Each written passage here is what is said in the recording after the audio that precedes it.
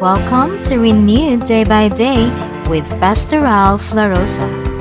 Today, he will continue our series, The Church in These Last Days. We will also learn about God's mercy in grace recovery and how we can receive forgiveness of sins as a follower of Jesus Christ. Here now is Pastor Ralph LaRosa. Now, even the saints sometimes get caught up into this because they don't want to look they don't want to be embarrassed they don't want to look like a fool they don't want to look stupid. So let's talk about saints for a minute. This is the six non-essential that i gave you last week. Christians can and they do sin. There's no doubt about it. Uh, even after you become a christian christians sin. 1 john 1 8 listen to what john the apostle said he said in John 1 8, if we claim, he's talking about himself, if we claim to be without sin, we deceive ourselves and the truth is not in us. We're suppressing the truth. We're not believing what God says about it. In fact, look how strong this is. 1 John 1:10 If we say that we have not sinned, and we make him God a liar, and his word is not in us. And so we, we need to learn how to deal with sin, and God has provided a way. So this, this particular part of this message is to give you encouragement. So if you're here today and you're going to be participating in communion, or you're watching online, or you hear this at another time, or on the radio, this is very encouraging news. I want you to listen to this. Who are the saints? Okay, I know uh, there's a guy named Saint Lorenzo here in the Philippines or he was in the Philippines. Uh, but we're not talking about canonized saints by some church. We're talking about saints from a biblical Christian worldview. What is a saint? Listen to 1 Corinthians 1 2. To the church of God, that was a local church that had a geographical location at a city called Corinth. To those who have been, here it is, sanctified in Christ Jesus that's hagiazo. In Christ means you're no longer in Adam, but you're in Christ. Saints by calling. That's a title that God gives you, just like the word brethren. Uh, a brother in Christ. You're a saint. You're a, you're a follower of Christ. Uh, actually, the word holy comes from this same root word. Okay, saints by calling. And who becomes a saint? With all who in every place call upon the name of our Lord Jesus Christ. Whoever calls upon the name of the Lord shall be saved. And when you're saved, you're born again. And when you're born again, you have eternal life. And when you have eternal life, you're in Christ. And when you're in Christ, God gives you a title. You are a saint. Okay? And so that's what you are in Christ. Now, you may not act like it sometimes, but positionally, you are in Christ. I want you to listen to the story of King David who sinned, suffered, and recovered. Now, I, I tell people there's no condemnation to those who are in Christ Jesus because that's what the Bible says in Romans 8 1. But there's consequences, horrible consequences. And you need a good, healthy fear of God's divine discipline. That's what one of the reasons we have communion. Not only to examine yourself to see your see if you're in Christ, but examine yourself to see if you're walking in the Spirit, if you're in fellowship with God. Now listen to this. Psalm 51. This is David after adultery and murder. Listen to this. He was in bad shape, let me tell you. He had been a king for 23 years. He had been a national hero when he killed David, uh, Goliath David is the one that killed him, okay? He was a giant, and David killed him, and he became a national hero. And he was a strong believer, but he got arrogant, he got proud. And listen to what he prayed when he was caught Have mercy on me, O God. Blot out my transgressions. Cleanse me from my sin. Look at the next verse. For I acknowledge my transgressions. This was after a year at least a year of an intense suffering, divine discipline. For I acknowledge my transgression, and my sin is always before him. You want to know how David felt during the time he was he was in this state? He was in almost in a state of insanity. You read Psalm 38. That's your homework. You read Psalm 38. That's David when he was in carnality. That's David when he was under divine discipline. That's David when he was suffering the, the consequences of his sin. Psalm 38. Now, you want some good news? David recovered. David was forgiven. David was restored. Listen to Psalm 32. You read that psalm. Blessed is the man whose transgressions have been forgiven. He acknowledged his transgressions and he was forgiven and he was restored and he was still a man after God's own heart after all of that. And that's the grace and mercy of God. Let's talk about King David repented and he returned. He repented and he returned. Listen to Psalm 53 1. Against you and you only, God, have I sinned, and I've done this evil. You see, he changed his mind about what he did. He thought before, I'm a king. You know, I deserve this. I, I earned this. But God called it evil what he did. This, I've done this evil in your sight. He repented. He understood what it was wrong. Listen to Psalm 51 4 so that you may be found just when you speak and blameless when you judge. That's why it says in 1 Corinthians, before you take communion, examine yourself. Okay, so that we're not we're not condemned with the world, but we can be disciplined by God.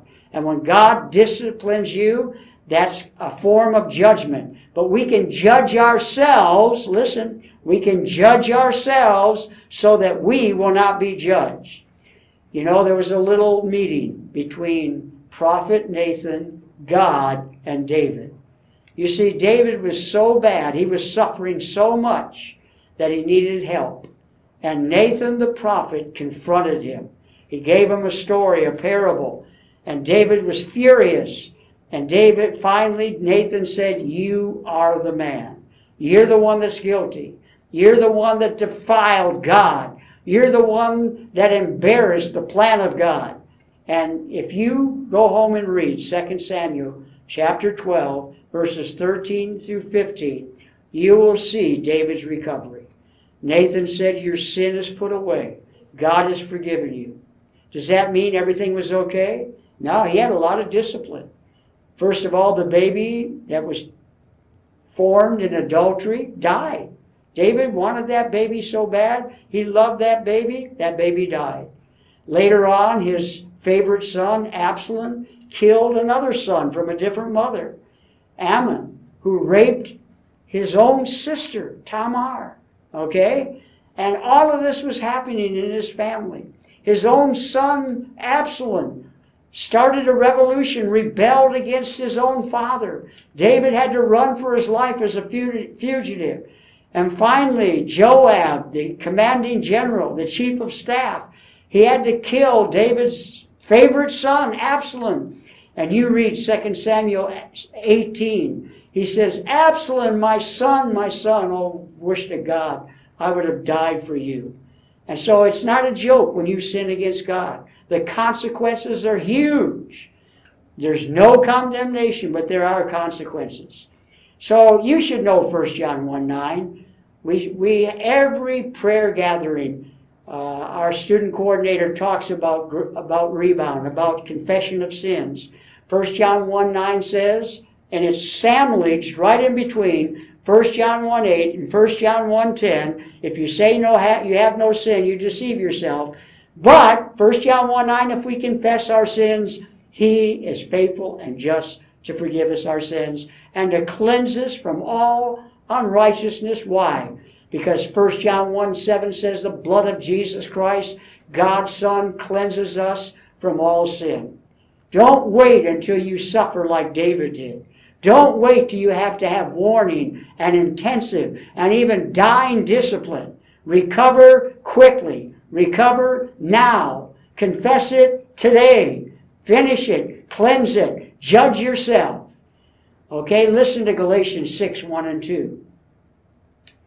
You know, many people are just like David. They're in such bad condition, they forgot all of the ways to recover. You may have to help them just like Nathan helped David. Listen to this. This is biblical. Brothers, if someone is caught in a sin, you who are spiritual should restore him gently, just like just like Nathan did. He could have lost his life. David could have had him executed, but he had to do it. God sent him there to do it. But watch yourself, or you also may be tempted. You know better. Don't be self righteous about it. Don't be judgmental. You're not judging them, you're helping them to recover. Listen to verse 2. Carry each other's burdens. This is a burden, let me tell you. When you help somebody to rebound, when you help somebody to get out of carnality, when you confront someone that needs to confess their sin and get right and repent and change, that's not easy. And in this way, you fulfill the law of Christ. Which law is that? The law of love. To love God with all your heart and to love your neighbor as yourself. You love him so much you don't want to see him suffer like that. So you confront him and you help him to restore him. That's your goal. So, let's close this finally with times of refreshing. Next week we'll continue uh, with the appendices. We'll continue with a, a few more non essentials. Actually, we'll continue with our statement of faith for GMF. Uh, there's 10 statements, so you can understand what we believe. We'll make a brochure out of it. But in preparation for communion or preparation for heaven, I want you to listen to these verses. Acts 3:19. Repent then and turn to God so that your sins may be wiped out and the times of refreshing may come from the Lord. If you don't have a relationship with God through Jesus Christ, there's not a better time than right now, right this morning. As you listen to this broadcast, whatever time it is, whatever day it is, day, night, whatever, you can fulfill this verse by changing your mind confessing your sin, acknowledging that you sinned against God, and you'll find the forgiveness that He offers. If you're a believer like David and like uh, many believers in Galatians 6 1, you need to remember your first love, the Lord Jesus Christ. You need to repent. You need to change your mind. You need to return and go back to the things you did when you first became a believer. And you need to keep growing in the grace and knowledge of Jesus Christ. And I hope this communion service will be a time of renewal for you. When you can remember the Lord Jesus and your first love. When you can remember what He did for you on the cross. When you can remember how you sinned against Him and how you degraded His name and how you blasphemed His, his name. And now you can change your mind and return to Him. And so the solution is always the same it's the cross. That's the place of repentance. That's the place of trusting in Christ, the Messiah, Yeshua. And if it's either as a non believer, you can trust in Him for the gift of eternal life.